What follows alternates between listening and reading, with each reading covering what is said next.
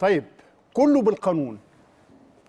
الأهلي في أزمته اللي حاصلة حاليا أزمة مباراة لم تنتهي مع صافره الحكم. الأهلي والنجم الساحلي في استاد رادس الجمعة اللي فاتت. أيضا الأهلي بيسلك الطرق الشرعية القانونية المحترمة. شفتوا حضراتكم عمل مذكرة للاتحاد الأفريقي؟ ومش بس كده. أيوه مش بس كده. الأهلي مستمر في التصعيد الأهلي ينوي أن يذهب بعيدا وبعيدا جدا بشكواه ضد ما حدث من لجنة الحكام في الاتحاد الأفريقي ضد حقوق النادي الأهلي. المفترض خلال الساعات القليلة القادمة هتشوفوا خطوات مهمة جدا في سعي الأهلي بعيدا حفاظا على حقوقه عشان تتأكدوا الأهلي ما بيسكتش وما بيفرطش. ممكن نتوقف لحظة هنا؟ اتفضل. السنتين اللي فاتوا تعرض الأهلي آه، أو ثلاث سنين لظلم فادح. وكان عندنا انتقادات آه، إن إزاي أصحاب النفوذ المصري في الهيئات الدولية ما بيحتضنوش زي ال- اللي شفناه في تونس وزي اللي شفناه في المغرب. حقوق أنديتها وتحديدا النادي الأهلي وإن كان هو يعني الحقيقة هم وقفوا مع نادي الزمالك كثيرا. لكن آه، آه، آه، يعني إنما يستحق كان النادي الأهلي ولو كان شاف هذه المساندة ربما كان قدر في سياق البطولات اللي هتسردها اللي راحت بالسرقة عيني عينك إنه كان يحافظ على واحدة ولا اثنين منهم.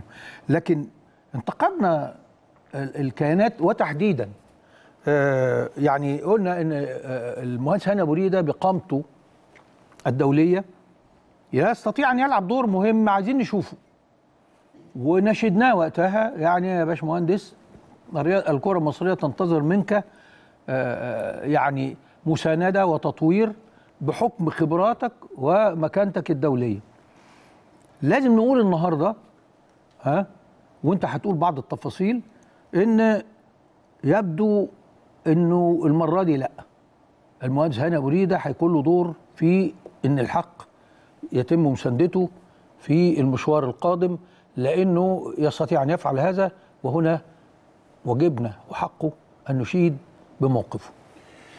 نشيد بموقف المهندس هاني أبو ريدة لأنه كما أعلم ويعلم المهندس عدلي جيدا أنه على تواصل من بعد المباراة مع الكابتن محمود الخطيب آه، داعم جدا لموقف النادي الأهلي متفق جدا على حجم ما تعرض له النادي الأهلي من ظلم في هذه المباراة.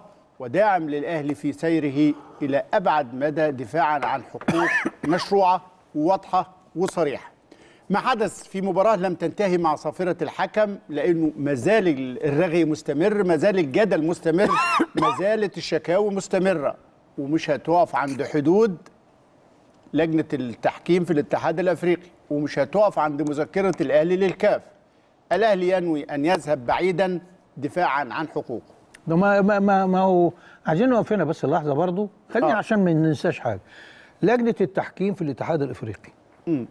أنا أرجو من كل الكيانات المصرية تشوف الناس بتجيب حقوق بلا حقوق. أنا بتكلم على حقوق.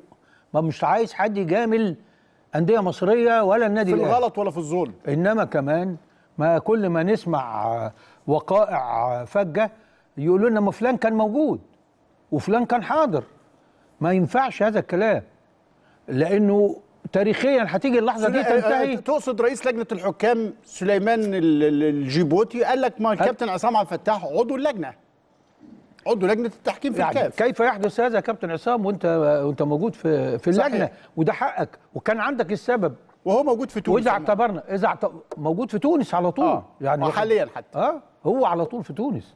مم. على طول في تونس. ولذلك شفنا التحكيم وإزاي إن شمال أفريقيا آه، يبقوا المصريين و و وال- يعني ما فيش مشكلة إنك تحقق مصالح للتحكيم ولنفسك. ده وضع طبيعي وبشري لكن مش على حساب مصالح آه، واضحة للكيانات اللي زي النادي الأهلي اللي هو بيأثر على تاريخها وعلى سعادة الملايين.